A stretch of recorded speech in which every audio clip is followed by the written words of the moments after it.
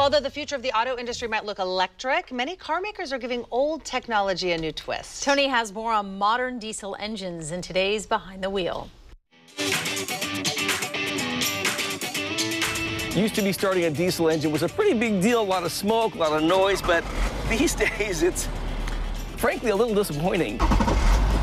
And by disappointing, I mean quiet, clean, and efficient. Diesel has been around for quite some time, so they're able to refine and really like fine tune driving characteristics, uh, consumption numbers, but also, yes, the sound that people definitely complained about. Where's my diesel grumble and growl? Oh, how things have changed. That's for sure.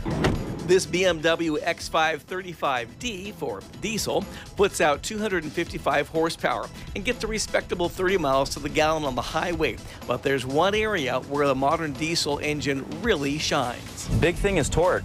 Uh, diesels are known for impressive torque numbers. And by torque, you mean? The torque is what throws you back in your seat. Horsepower is kind of what keeps you going.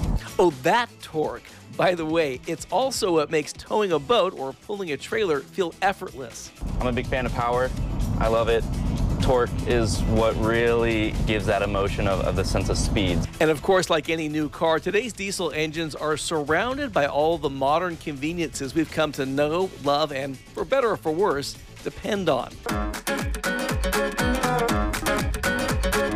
Cost of diesel fuel tends to be more stable than gasoline, and though it usually costs a bit more than regular, it usually costs a bit less than premium. It's going to have similar uh, maintenance intervals as a traditional gasoline car. So it seems modern technology has leveled the playing field when it comes to your new car's engine.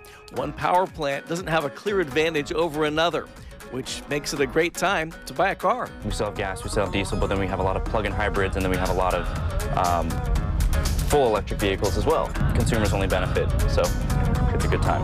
I'm Tony Martinez, Fox 12 Oregon. You hated driving that car, didn't you?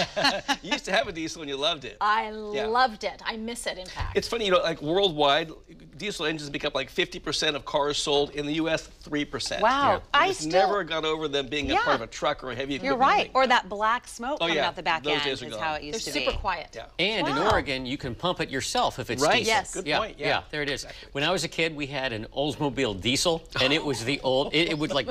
yeah. I mean, smoke was just... That was part of the problem. Right. That's they why they're scared out. of they it They fixed that. Yeah. Thanks, Tony. Yeah, that was known as the lemon, but we put over 100,000 miles on go. the thing. Yeah, yeah. Kept, kept going.